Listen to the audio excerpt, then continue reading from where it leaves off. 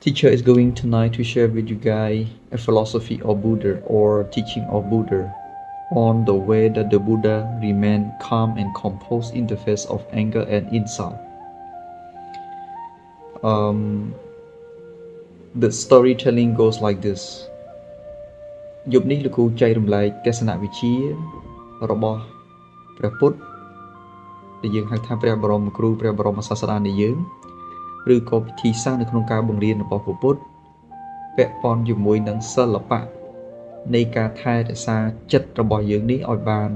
ស្ងៀមស្ងាត់ calm and compose ប្រឈមមុខជាមួយនឹងស្ថានភាព ដែលគេកំពុងតែមក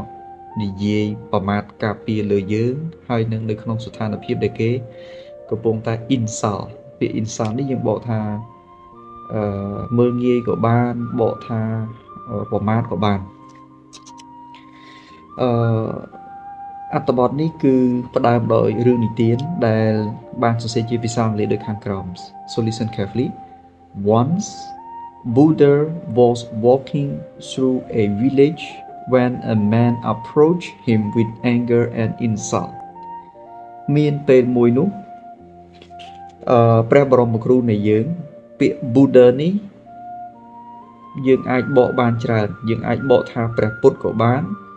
យើងអាចបកថាតថាគតក៏បាន ព្រះសម្មាសម្ពុទ្ធក៏បានហើយកុំច្រឡំពាក្យ Buddha គឺសំដៅទៅលើព្រះពុទ្ធពាក្យ Buddhism គឺសំដៅលើសាសនា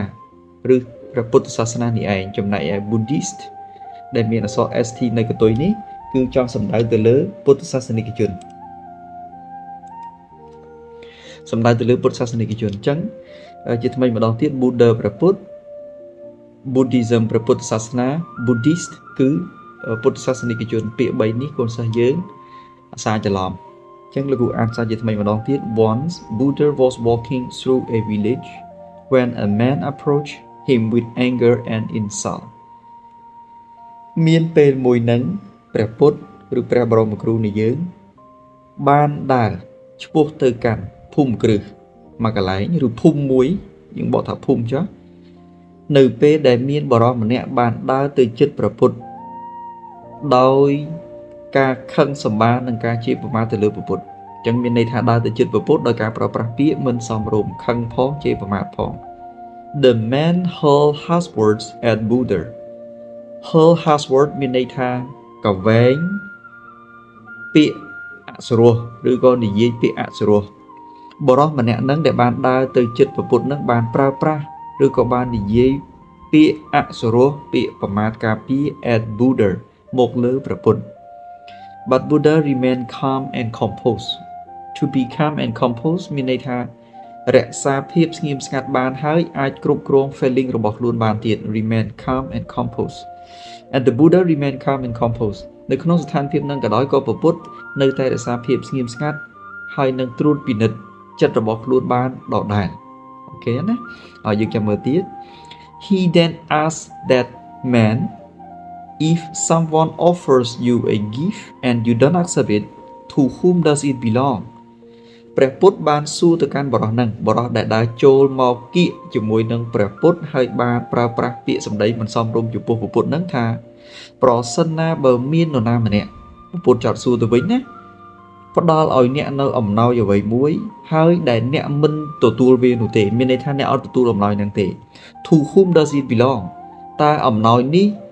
វានឹងคล้ายទៅជារបស់នរណា The man reply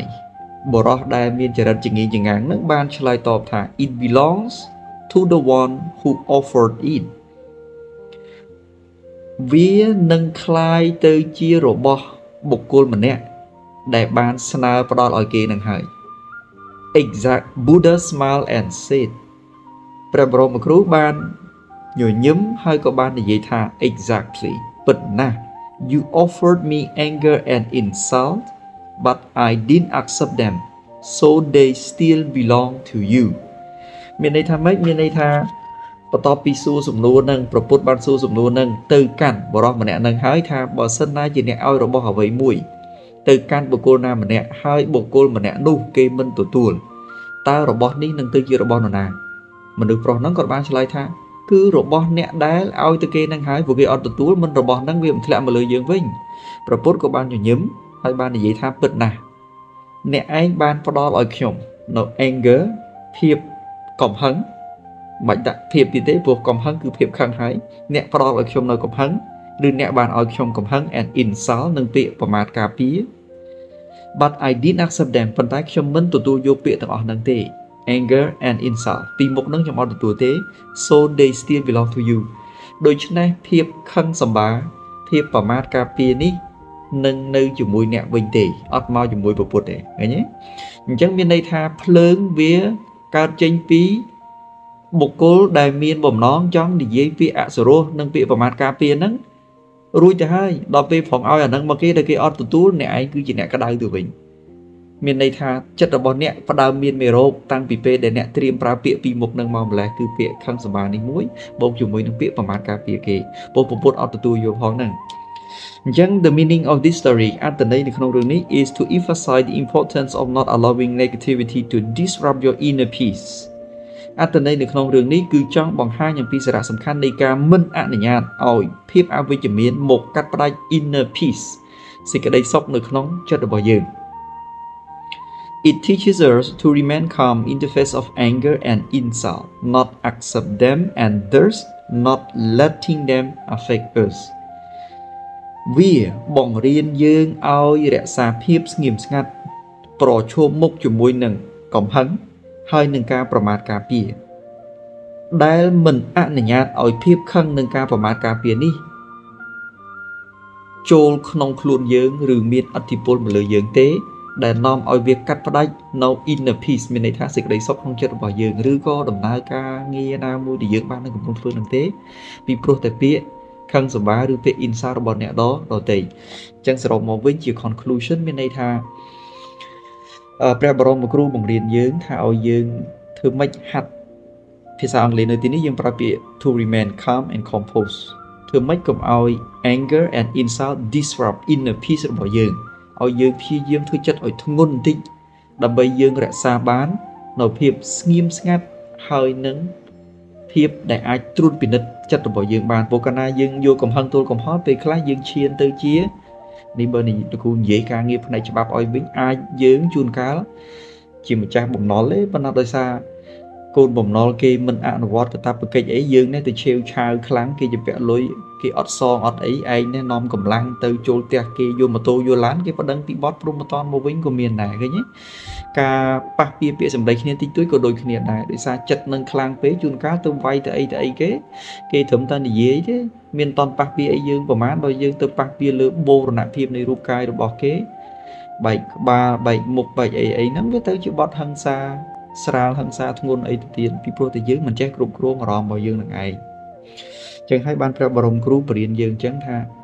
ឲ្យយើងខិតខំប្រឹងប្រែងនៅក្នុងការ control feeling របស់យើង emotion របស់យើងហើយ stay calm and compose ទោះបីជាវាមានរឿងរ៉ាវណាក៏ដោយហើយលោកគ្រូតែងតែយកបាច់យកទ្រឹស្ដីនេះមកដាក់នៅក្នុងចិត្តទើបលោកគ្រូអាចជំនះឧបសគ្គនានាបាន I don't think other people saying it is none of my business. Okay, what I have focused today or nowadays to build my personal growth mentally, physically, um, educates the next generations, um, help my society, um, cultivate my good deed and my uh, control my mind ស៊ីចឹងជាអ្វីដែលលោកគ្រូធ្វើអត់អត់បារម្ភនឹងការនិយាយការអីរបស់គេ ពីក្រោយខ្នងពីអីពីអីហ្នឹងទេហ្នឹងហើយ focus ទៅលើអ្វីដែលយើងគិតថាយើងបានឃើញ momentum នៃការងាររបស់យើងហើយយើងបន្តធ្វើការងារហ្នឹងទៅទៀតអញ្ចឹងអឺអ្នកគ្នាអាចអាចអាចសួរលោកគ្រូបានថាលោកគ្រូអើយអ្នកអាចប្រាប់លោកគ្រូមកវិញថាលោកគ្រូពិបាកធ្វើណា ការធ្វើចិត្តឲ្យធ្ងន់ហើយរក្សាភាពស្ងៀមស្ងាត់ទាំងគេមកប្រមាថការពារលោកគ្រូជឿថាវាពិបាកនឹងហើយប៉ុន្តែព្យាយាមទៅណាការដែលយើងចេះបរិយ័ត ទ្រឹស្ដីគឺជារឿងលំបាកមួយហើយប៉ុន្តែការបដិបត្តិឲ្យបានគឺជារឿងលំបាកមួយទៀតតោះនេះប៉ុណ្ណឹងប៉ុន្តែបើយើងអាចធ្វើបានលោកគ្រូជឿថាអ្នកនរគ្នានឹងទទួលបានសេចក្តីសុខនៅក្នុងដំណើរជីវិតរបស់ខ្លួនបានច្រើន ហើយសូមផ្សារភ្ជាប់ជីវិតរបស់ខ្លួនជាមួយនឹងព្រះពុទ្ធសាសនាកុំចាំតតែមានបញ្ហាតនេះប៉ុណ្ណឹងព្យាយាមរលឹកជាប្រចាំអញ្ចឹងបាទពុទ្ធធម៌ប្រសងប្រកបប្រតនត្រ័យ បាទព្រះអង្គគឺជាទីពឹងទីរលឹកនៃខ្ញុំអីឲ្យមានការក្រើនរំលឹកជាប្រកបដីអូខេត្រីសួស្ដី